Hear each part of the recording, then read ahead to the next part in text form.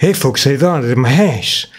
So today, I'm going to quickly show you how to get rid of this Copilot thing uh, permanently.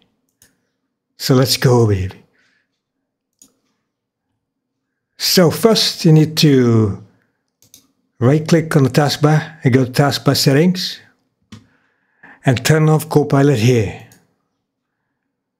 But it's still running in the background.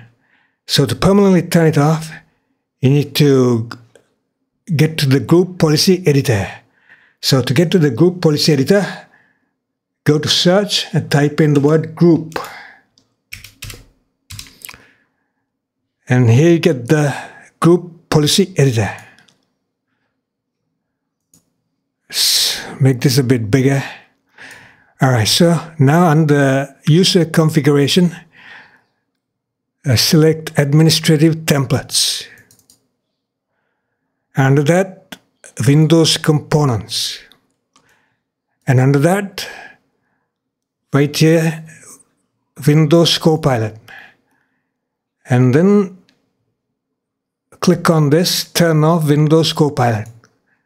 And then edit policy setting.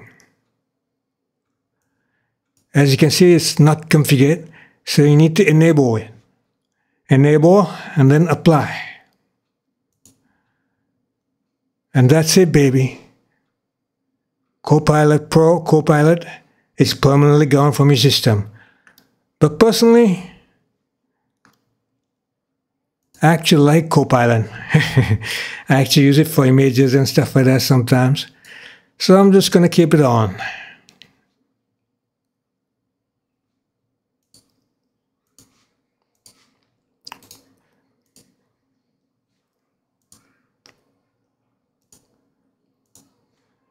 A bit of a twist, huh? Anyway, thanks for watching.